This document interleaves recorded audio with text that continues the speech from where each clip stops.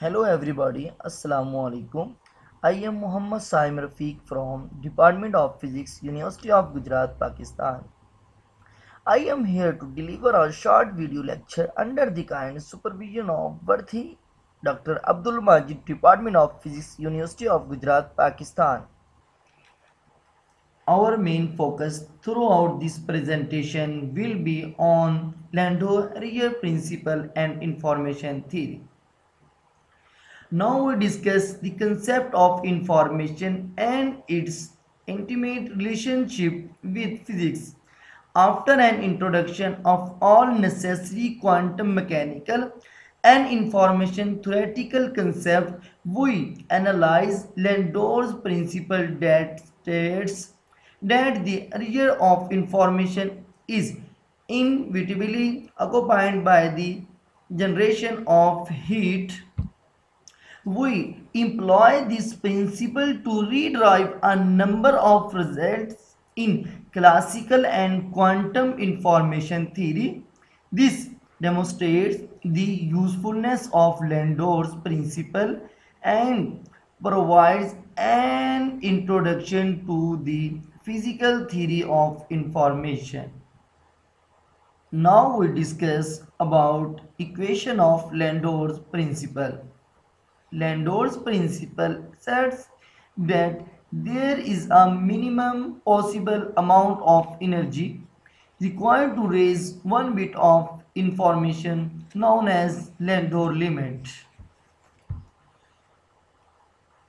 Here, Landauer equation kT log 2 k is the Boltzmann constant value is equal to 1.38 10 to power 23 joule per Kelvin. T is the temperature in Kelvin. Log 2 is the natural logarithm.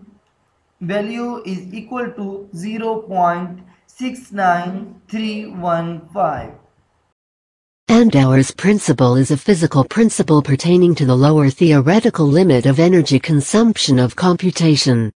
It holds that any logically irreversible manipulation of information, such as the erasure of a bit or the merging of two computation paths, must be accompanied by a corresponding entropy increase in non-information bearing degrees of freedom of the information processing apparatus or its environment. Another way of phrasing Landauer's principle is that if an observer loses information about a physical system, the observer loses the ability to extract work from that system. If no information is erased, computation may in principle be achieved which is thermodynamically reversible, and require no release of heat. This has led to considerable interest in the study of reversible computing. At 20 degrees Celsius room temperature, or 293.15 K, the Landauer limit represents an energy of approximately 0.0172 F, or 2.75 ZJ.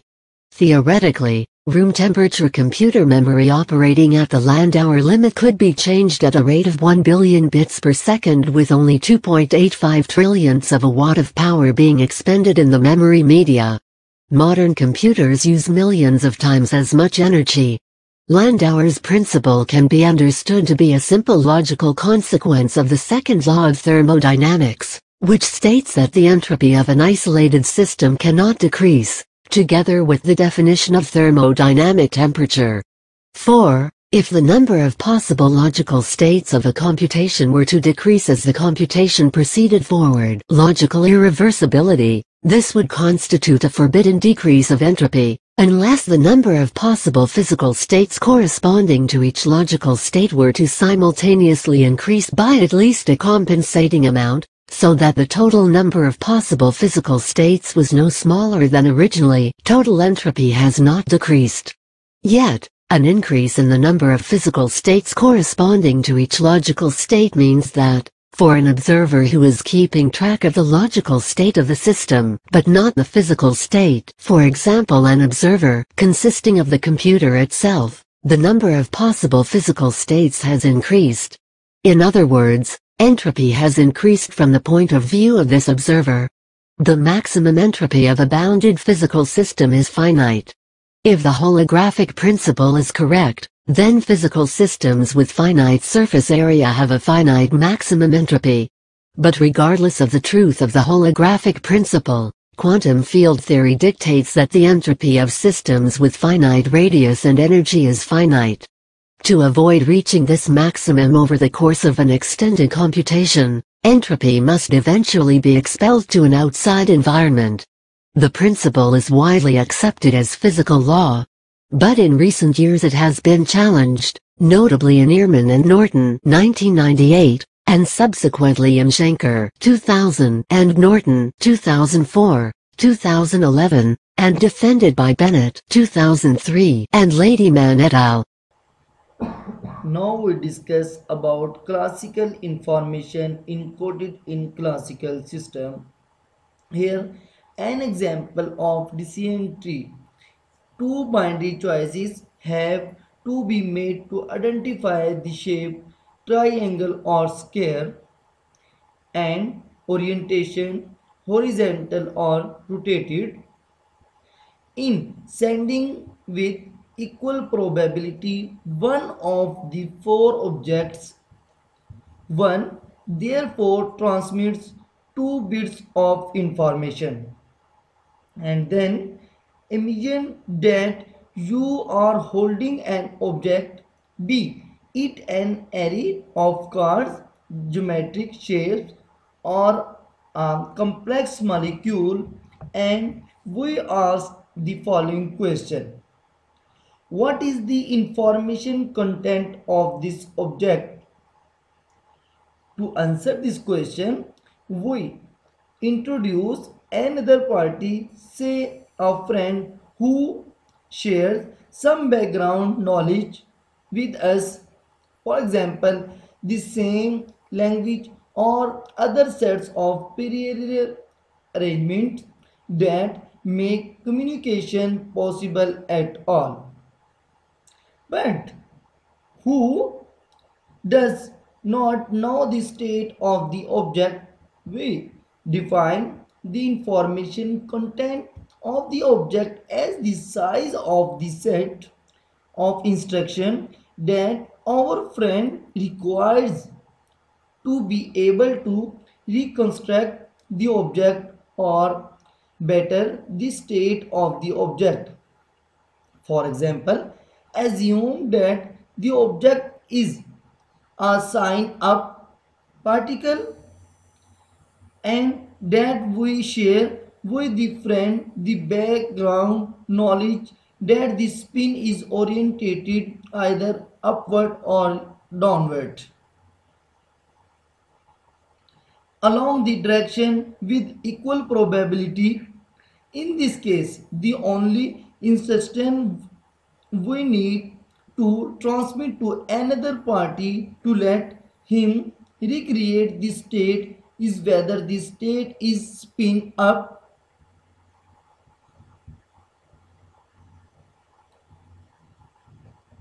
And spin down.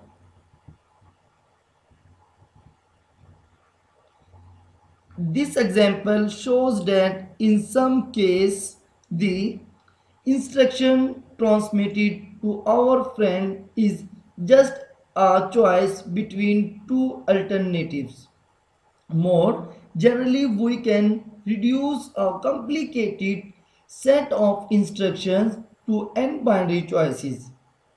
If that is done, we readily get a measure of the information content of the object by simply containing the number of binary choices. In classical information theory, a variable which can assume only the values 0 or 1 is called bit. Instruction to make a binary choices can be given by transmitting 1 to suggest one of the alternative say arrow upward and 0 for the other arrow downward. To sum up, we say that n bits of information can be encoded in system with instructions in the form of n binary choices need to be transmitted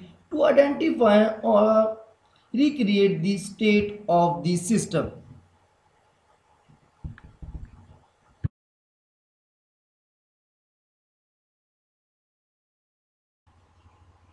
Now we discuss about the Maxwell demons.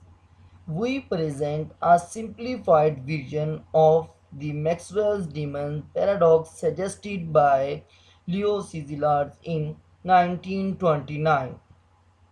It employs an intelligent being or a computer of microscopic size operating a heat engine with a single molecule working fluid in this scheme, the molecule is originally placed in a box free to move in the entire volume V.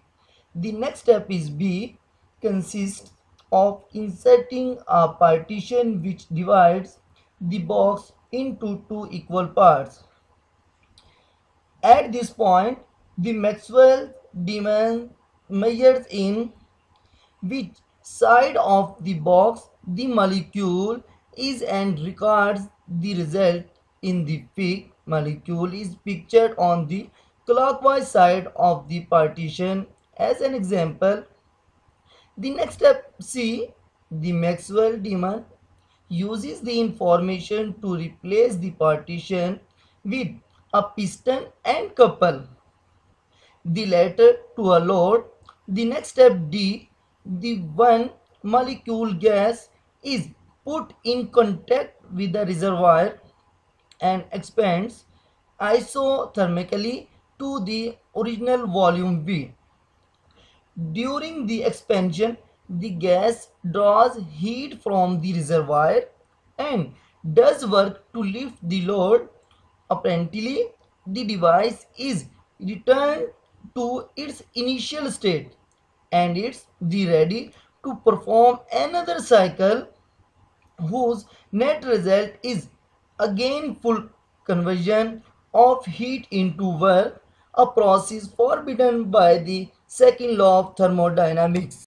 Let's talk about a thought experiment. Maxwell's demons. They huddled together for warmth. Now, let's say we took two different gases at different temperatures. One that's incredibly hot, where all of the particles are moving incredibly quickly, and another that's kind of cool, where the particles maybe aren't moving around so quickly. They're kind of sluggish. They don't really want to move around. And let's say we put both of these types of particles in a box together so that they kind of interact with each other. Well, in this case, the two different temperature gases will reach what we call an equilibrium where the temperature will be somewhere in between the temperature of the two other gases. And as physicists, we cannot stop this from happening. It just will always happen.